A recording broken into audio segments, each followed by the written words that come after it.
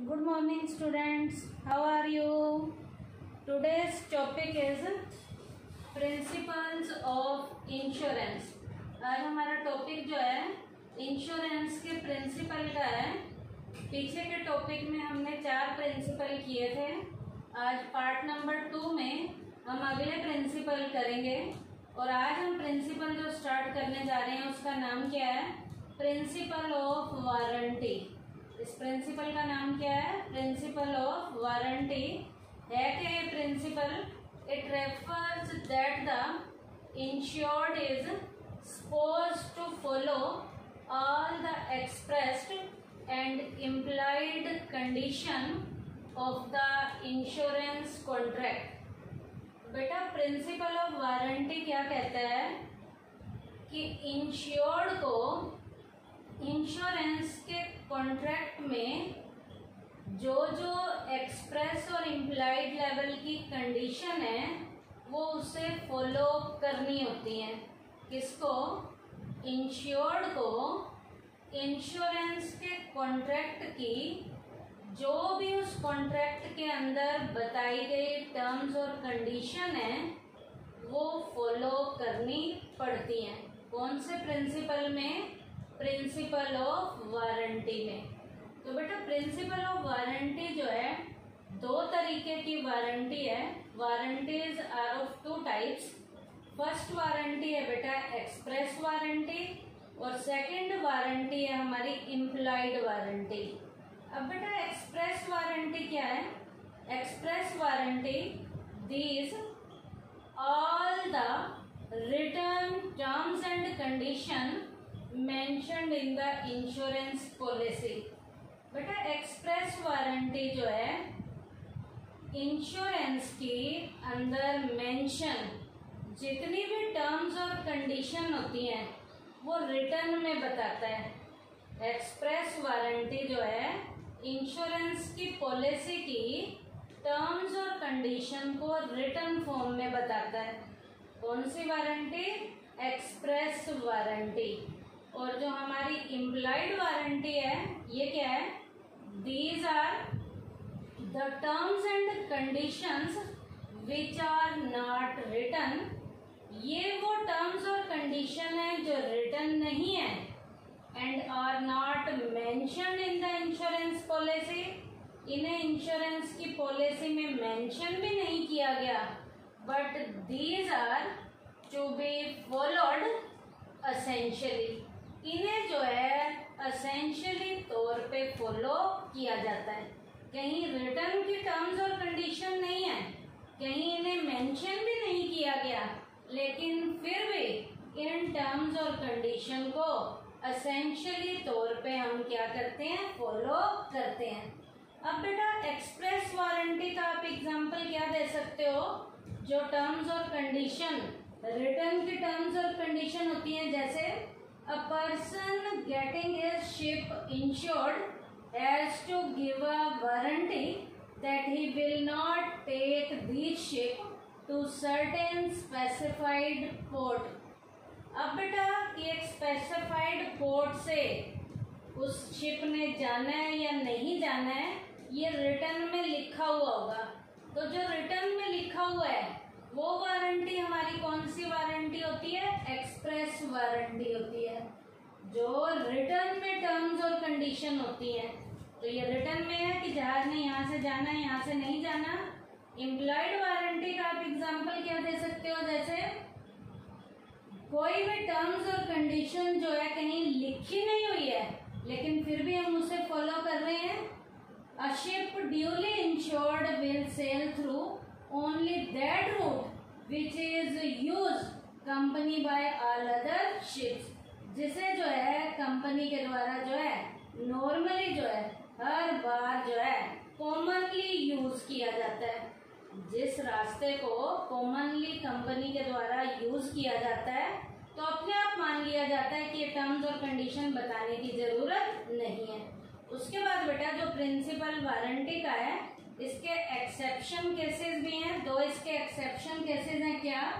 After entering into contract any newly formed law hold it void to fulfil contract second है हमारा when the insurer has freed the insured from fulfilling the insurance contract ये दो point जो हैं principle of warranty के exceptional cases हैं। Exceptional का क्या मतलब है?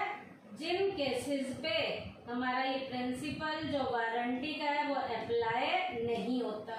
उसके बाद बेटा प्रिंसिपल ऑफ़ सबरोगेशन क्या है?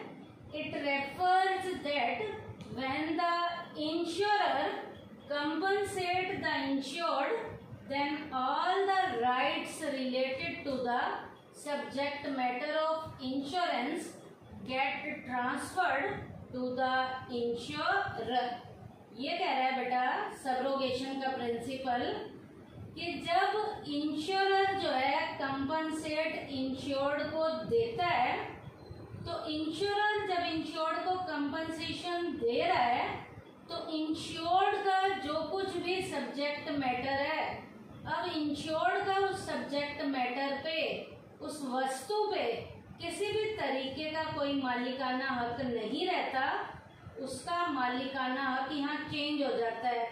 तो उन सारी चीज़ों के ऊपर जो हक है, वो अब इंश्योर्ड का नहीं है।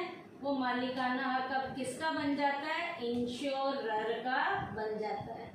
तो ये है क्या principle it refers that when the insurer compensate the insured then all the rights related to the subject matter of insurance get transfer to the insurer कैसे?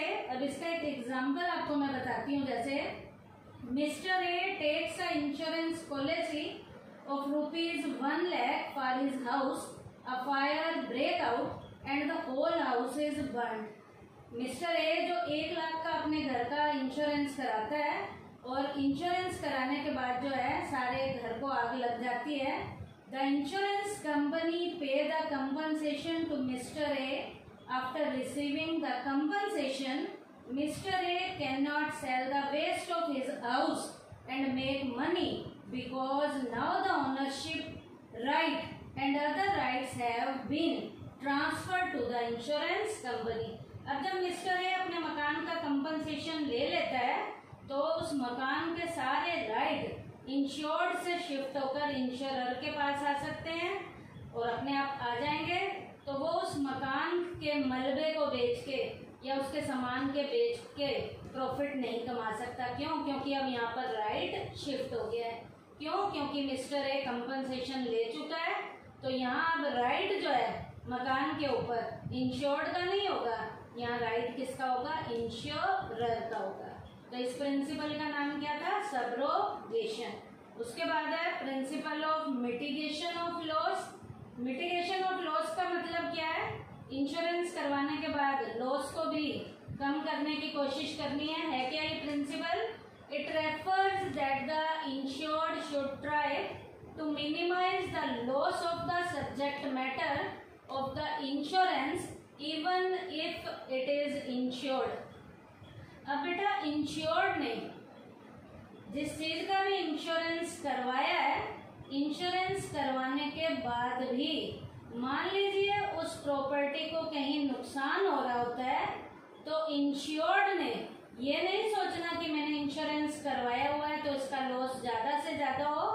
तो इंश्योर्ड ने नुकसान होते हुए भी उस नुकसान को जहाँ तक पॉसिबल हो सकता है, उसने उस लॉस को कम करने की कोशिश करनी है। यहाँ पे भी एग्ज़ाम्पल दिया जा सकता है।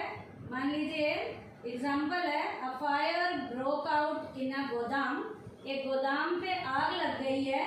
The owner does not make any effort to extinguish the fire just because the godam is insured अब गोदाम को आग लग गई है तो मालिक ने ये नहीं सोचना कि आग लगती है तो लगती रहे।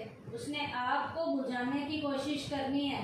You must make every effort to extinguish the fire उसने आपको बुझाने के हर संभव प्रयास करने हैं। You must immediately inform the fire brigade department उसने फटाफट फायर ब्रिगेड डिपार्टमेंट को कंसर्न करना है, उन्हें इमीडिएट बताना है कि आग लग गई है। And make every possible effort to put out the fire which he would otherwise have done the godam had not been insured, उसने पूरे भरसक प्रयास करने हैं। गोदाम के इंश्योरेंस होने के बाद भी उसने फायर ब्रिगेड को बुलाना है और गोदाम की आग के लॉस को कम करने की कोशिश करनी है। तो इस प्रिंसिपल का नाम क्या था? Principle of mitigation of loss उसके बाद है बेटा last principle of proximate cause principle of proximate cause ये प्रिंसिपल क्या है? It refers that the proximate और nearest cause and not the remote cause shall be considered to establish the responsibility of bearing the losses losses को bear करने की responsibility में नुकसान का जो कारण है वो बिल्कुल पास का प्रोक्सीमेट लेवल का काज होना चाहिए। दूर का रिमोट लेवल का काज नहीं होना चाहिए। यहाँ पर मान लीजिए, आप एक एग्जांपल दे रहे हो कि कैसे पास का कारण होना चाहिए, दूर का कारण नहीं होना चाहिए। If a ship get damage due to constant friction with iceberg and this cause damage the stock as well Now this damages to the stock, which is insured. Hence, the insurance company will pay the compensation.